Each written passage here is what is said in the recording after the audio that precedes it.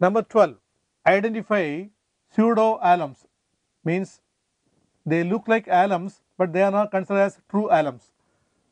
And the compounds given are MnSO4, Al2SO4 thrice 24H2O, FeSO4, Al2SO4 thrice 24H2O, KMnSO4 twice 12H2O, KCr SO4 twice 12H2O, NH4 FeSO4 twice 12H2O and options given are A 1 only that is the MnSO4 compound, B 1 and 2, C 3 only and D 4 and 5. For alum univalent ion and a trivalent ion with the sulfate and water molecule must. And if you analyze MnSO4Al here aluminum is trivalent but Mn is bivalent.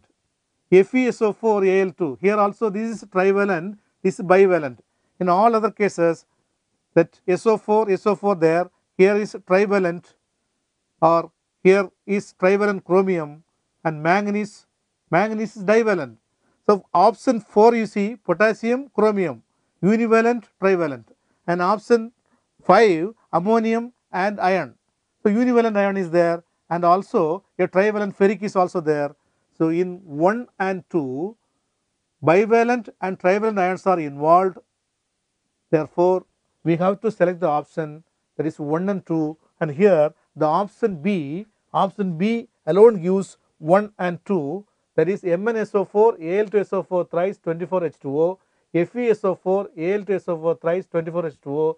These two are pseudo alums and all others are true alums. So, go for the option that is B 1 and 2. B is correct.